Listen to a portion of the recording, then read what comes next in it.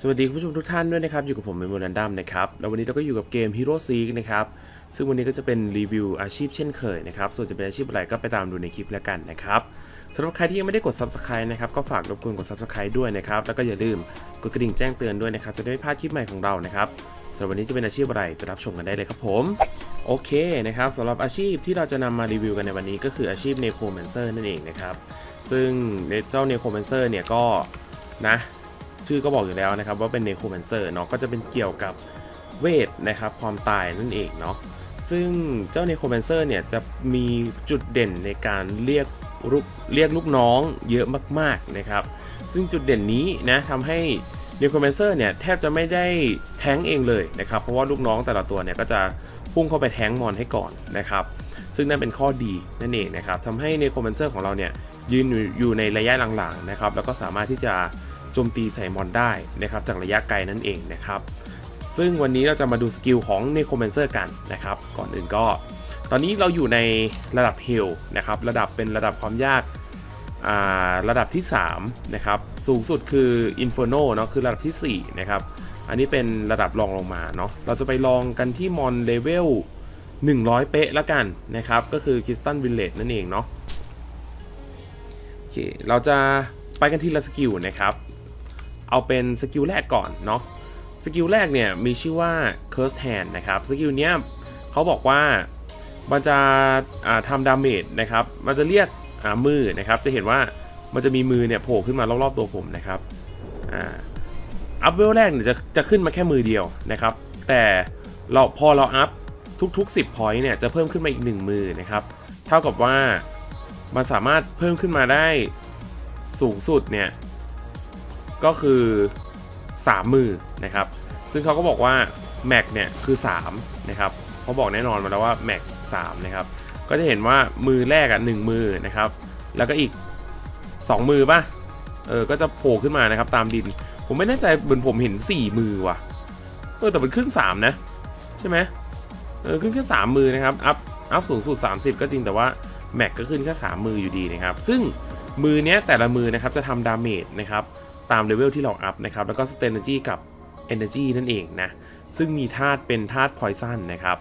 ถ้าเกิดเราสเกล Poison Damage สูงๆ เนี่ย เราสามารถที่จะทำให้สกิลนี้แรงขึ้นมากๆเลยนะครับอ่าโอเค อันนี้เป็น Passive นะครับ ต่อมาสกิลต่อไปนะครับ คือ Skeleton Murder เอ้ย Murder นะครับสกิลนี้เนี่ยเป็นสกิลที่เรียก Skeleton ขึ้นมานะครับอ่าเพราะฉะนั้นสกิลเนี้ยจะต้องใช้ ซากศพนะครับคือเราต้องฆ่ามอนก่อน 1 ตัวเนาะเพื่อที่จะให้มีซากศพนะครับแล้ว Skeleton เนี่ยก็จะสเกลเลือดกับสเกล damage นะครับตาม Poison Damage เลยนะครับและที่สำคัญก็คือนะ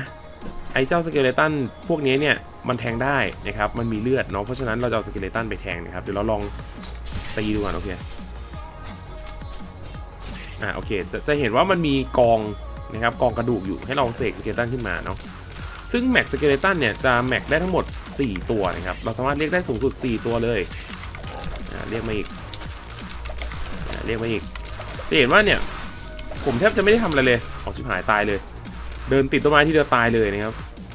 จะเห็นว่าเนโคเนี่ยมันบางมากๆเนาะ เพราะฉะนั้นเนี่ย การที่เขาจะต้องไปหลบหลังเสาเนี่ย เอ้ยหลบหลังมอนเนี่ยมันเป็นเรื่องสำคัญนะครับ เพื่อกันไม่ให้ตัวเองตายนั่นแหละเนาะโอเคเอาใหม่นะครับ อย่างแรกที่เราต้องการก็คือโครงกระดูกสักหนึ่งอันนะครับ เรียกมาเรียกมาได้สามตัวนะครับหนึ่งกระดูกเนี่ยจะเรียกได้หนึ่งตัวเนาะเพราะฉะนั้นก็เรียกได้สี่ตัวนะครับ ก็พยายามฆ่ามอนแล้วก็เรียกไปเรื่อยๆแล้วกันนะครับ จะเห็นว่าตอนมันไปแทงเนี่ยนะมอนก็จะตีกับสเกลเลตันด้วยนะครับ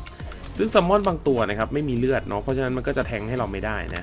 เป็นกรณีพิเศษสำหรับ Necromancer นะครับ เค ต่อมาสกิลถัดไปนะครับคือ Summon Mastery นะครับ อันนี้ก็เป็นของดีเหมือนกันนะครับ เพราะว่าแต่ละสกิลที่เราจะอัพเนี่ย มันจะเพิ่มโบนัส health ของ minion ของเรานะครับ หรือ summon ของเราแล้วก็โบนัส damage ด้วยนะครับ เพิ่มเป็นเปอร์เซ็นต์นะครับ สามารถอัพได้สูงสุดก็คือแต่ละสกิลเนี่ยจะอัพได้สูงสุดเนี่ยสานะครับ แล้วก็คือมันเพิ่มเป็นเปอร์เซ็นต์เนาะเพราะฉะนั้นมันก็ดีมากๆเลยนะครับ เอาไปคอมโบกับ minion ได้ทุกตัวเลยนะ โอเคสกิลถัดมานะครับเป็น Homing Wisp นะครับ อันนี้เป็นคล้ายๆกับการปล่อยมิสไซล์ของ Markman เนาะซึ่ง missile Marksman เนี่ย เราก็ต้องตีไปเรื่อยๆ ใช่ไหมแล้วตีไปเรื่อยเนี่ย โอเคอันเนี้ยอันนี้คือ Homing Wisp นะครับ มันจะเป็นอ่าเดี๋ยวเดี๋ยวอย่าเพิ่งไปโคตรรีบเลยอ่ามันจะเป็นลูกบอลสีฟ้าๆนะอ่าเห็นไหม อาจจะมีบอลสีฟ้านะครับออกไปพุ่งออกไปมันจะพุ่งไปหาศัตรูเองนะครับอ่าคล้ายๆกับสกิล missile เลยเนาะแต่เป็นเปลี่ยนเป็นบอลสีฟ้าแทนนะครับซึ่งสเกลเนี่ยก็เป็นสเกลกับ Poison Damage อีกแล้วนะครับทุกสกิลของ Necro ตอนนี้ถูกเปลี่ยนเป็นสเกลกับ Poison Damage หมดเลยเนาะโอเคก็ยิ่งอัพก็จะยิ่งแรงขึ้นนะครับโอกาส proc ก็จะอยู่ที่ 24%นั่นเองเนาะอ่าถัดมานะครับเป็น Skeleton Mage นะครับอันนี้ก็ เป็นสกิล Active อีกหนึ่งสกิลของ Necromancer เลยก็ว่าได้เนาะก็คือเราจะต้องหาโครงกระดูกเหมือนเดิมนะครับ เดี๋ยวข้างล่างก็ได้อะไอตัวนี้มันจะตายแล้วอ่าแล้วเราก็กดสกิลนะครับ เรียก Skeleton Mage ขึ้นมา ซึ่ง Skeleton Mage เนี่ยจะต่างจากอ่าพวก Skeleton ปกติตรงที่มันมันสามารถเสกได้แค่ 2 ตัวนะครับ ซึ่ง Skeleton ปกติเนี่ยเสกได้ถึง 4 ตัวเลย จะเห็นว่าผมเนี่ยไม่ได้ทำอะไรเลยนะ summon เนี่ยคือมี damage มากๆนะครับ แล้วผมก็หลบเอาอ่าเรียบร้อยอะพอพอพออย่าไปเยอะอย่าไปเยอะโอเค ก็จะเห็นว่า Skeleton Mage เนี่ยสูงสุดเรียกได้แค่ 2 ตัวนะครับสกิลโดยรวมเนี่ยก็คืออ่ามันมันจะตีไกลนะครับ เปลี่ยนจากอ่า Skeleton ปกติที่ตีใกล้เนาะเปลี่ยนเป็นตีไกลนะครับ แล้วก็แรงขึ้นนะ เดี๋ยว อ่าผมเอามาแค่หนึ่งอะมันดูไม่ค่อยรู้เรื่องหรอกแต่ว่าเอามาแค่หนึ่งเนี่ย damage คือหมื่นห้าแล้วแต่ว่าไอเนี่ยหมื่นห้าเท่ากันทั้งนี้ที่ผมเอาผมก็อัพหนึ่งเหมือนกันดีกว่าอ๋อโอเค คือความแรงเนี่ยเท่ากันเออแต่ว่าแต่ว่าบางลงแต่ว่าตีไกลนะครับอ่าแต่ข้อดีของ Skeleton เนี่ยมันมีสกิล Cursed Hand ติดด้วยนะครับอาจจะเห็นว่าไอ summon ที่ผมเสกมาทุกตัวเนี่ย Cursed Hand มันติดหมดเลยปะ Cursed Hand มันออกออกจาก summon ด้วยนะครับแต่ว่า ตัวหนึ่งเนี่ยมันออกแค่มือเดียวนะ มันไม่เหมือนตัวเราที่จะออก 3 มือนะครับ เพราะฉะนั้น damage จาก Cursed Hand เนี่ยก็เยอะพอสมควรเลยเนาะ โอเค จาก Skeleton Mage นะครับ ก็คือ Skeleton อัปเกรดนั่นแหละตีไกลแค่นั้นเองนะ เลือดน้อยลงแค่นั้นเองไม่มีอะไรเลยครับ ก็เป็น damage poison damage อีกแล้วเนาะ ถัดมานะครับเป็น Meat Bomb นะครับ อันนี้เป็นสกิล active อีก1สกิลนะครับ เป็นสกิลที่ 3 แล้วเนาะ Meat Bomb เนี่ยเป็นสกิลกดใช้นะครับ ใช้เมื่อไหร่ก็ได้นะครับ เมื่อใช้เนี่ยจะปาก้อนเนื้อนะครับไป ทิศทางที่เมาส์เราชี้เนาะอ่าพอปาไปเสร็จปุ๊บเนี่ยเขาจะทิ้งซากศพไว้ด้วยนะครับทำให้เราสามารถเสก Skeleton จากซากศพที่ทิ้งไว้ได้เลยนะครับ แต่ว่า1 Meat Bomb เนี่ยก็จะก็จะสร้างแค่1ซากศพนั่นเองนะเออสกิลก็ poison เหมือนเดิมนะครับ proc กับ poison เนาะเออแล้วก็สกิลทันมาอันนี้คือโซชันเอ่อโซชันแนลนะครับ อันนี้เนี่ยเป็น เป็นสกิลพาสซีฟนะครับพอก24%นะครับจะเป็นการที่มันจะปล่อยอถ้าสังเกตดีๆ มันจะมีคลื่นสีชมพูชมพูเหมือนดอกซากุระเนี่ยเห็นไหมเนี่ยเนี่ยเนี่ยเนี่ยนะครับปล่อยปล่อยออกไปตรงๆเลยนะครับ ถ้าโดนมอนก็ทำ damage นั่นแหละเนาะมันจะต่างจาก Homing Wisp ตรงที่มันจะไม่พุ่งไปหามอนเองนะครับ เล็งตรงไหนก็จะไปตรงนั้นเนาะ แล้วก็จะทำ scale damage ตามเลเวลนั่นแหละเนาะยิ่งอัพเยอะก็ยิ่งแรงนะครับ แล้วก็สกิลถัดมาเป็น Poison Nova นะครับ อันนี้ก็น่าจะเห็นกันอยู่แล้วเนาะอันนี้ชัดสุดนะครับ มีโอกาส proc นะครับในการโจมตี 18%นะครับที่จะปล่อย Poison Nova ออกมา ก็คือยิ่งตีเนี่ยมันจะปล่อย Poison Nova กระจายออกมารอบตัวเรานะครับdamage ก็จะสเกลกับเลเวลเหมือนเดิมเนาะเห็นไหมอ่าเนี่ยอันนี้คือออกนะครับก็จะปล่อยออกมารอบตัวแบบนี้เลยเนาะ ส่วนสกิลสุดท้ายนะครับก็คือ Damned Legion นะครับ จริงๆตัวนี้เนี่ย มันเสกได้แค่ตัวเดียวนะครับสรรพคุณเนี่ย คล้ายๆกับ Skeleton เลยนะ แต่ว่ารู้สึกมันจะมีความแตกต่างคือ มันน่าจะยกมอนได้หรือเปล่าอันนี้ผมไม่แน่ใจนะครับ เดี๋ยวเดี๋ยวลองหามอนดูแล้วกัน แต่ว่าอันนี้คือ summon ทั้งหมดที่เราจะได้มานะครับ จะมีทั้งหมด 6 ตัวด้วยกันนะครับอ่าไปดูซิ Damned Legion แต่ตีแรงมากๆเลยนะ คือตีแรงกว่าถึกกว่า Skeleton นะครับ แต่ว่าเราเสกได้แค่ตัวเดียวเนาะ แต่ Skeleton เนี่ยเราเสกได้ 4 ตัวเลยนะครับเนี่ยเห็นว่ามอนมันตายง่ายเกินไปว่ะ อันนี้มอนเวลร้อยแต่ว่า คือตัวเรามันใส่ของเทพแล้วไง มันก็จะตายง่ายไปหน่อยนะครับ เราก็ตายง่ายเหมือนกันเรื่องของเรื่องโอเคเดี๋ยวมาดูแถวนี้สิมอนเยอะๆอยู่อ่าถ้ามันโดนทีเดียวตายหมดเลยเนี่ยเนาะ เออเราก็โดนทีสองทีตายเหมือนกันนั่นแหละ เออมองมองไม่รู้เรื่องเลยแต่เอาเป็นว่ามันมันเสกอ่าลูกน้องออกมาได้นะครับ แล้วก็ไปช่วยทำ damage นั่นแหละเนาะก็ถือว่าไม่น่าพลาดแหละสำหรับสาย summon อย่างNecromancer นะครับโอเค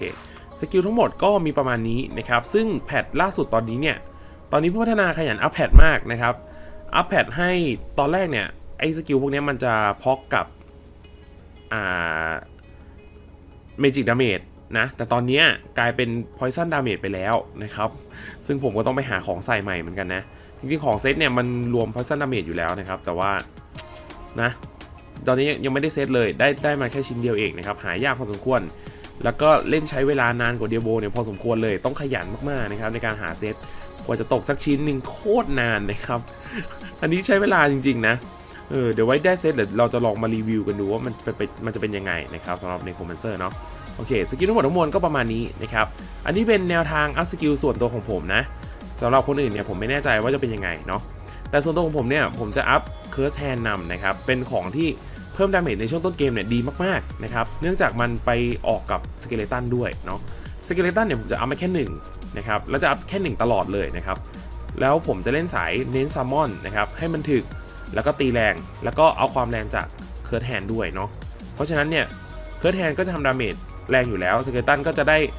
buff damage จาก summon mastery นะครับที่ผมอัพเต็มเช่นกันเนาะสรุป summon ทุกตัวนะครับผมจะอัพมาแค่อย่างละหนึ่งนะครับยกเว้นตัวสุดท้ายเนี่ยผมพอยผมเหลือผมก็เลยยัดไปนะครับเป็น5เนาะแล้วก็อีก skill หนึ่งที่จะอัพเต็มก็คือ Poison Nova นะครับ อันนี้ก็ได้ใช้เช่นกันเนาะจริงๆก็จริงๆก็แนะนำเหมือนเดิมว่าอัพ skill มาอย่างละหนึ่งก่อนนะครับแล้วแล้วเราใช้ skill อะไร ที่สำคัญสำคัญจริง ๆ เราใช้บ่อยๆจริง ๆ ก็อัพให้มันเต็มนะครับ แต่ผมรู้สึกว่า cursed hand เนี่ยมันคุ้มมากในช่วงต้นเกมนะครับ แล้วก็หลังเกมก็ผมก็ยังมองว่ามันคุ้มอยู่นะครับ มันทำ damage ได้แรงจริง ๆ นะ